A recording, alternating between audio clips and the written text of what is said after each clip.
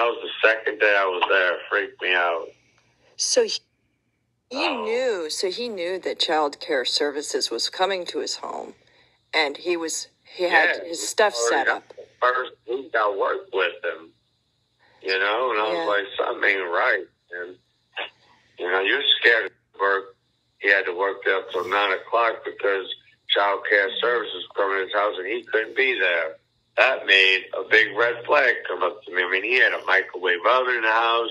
I mean, a little cooler. He was set up to stay there all night. Oh my! I was like, this god! is wild. What was this dude into?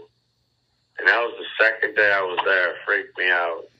So he, he Oh. knew. So he knew that Child Care Services was coming to his home, and he was he had Yeah, his stuff set up. First week I worked with him, you know, and I Yeah. was like, something ain't right. And, you know, you're scared of work.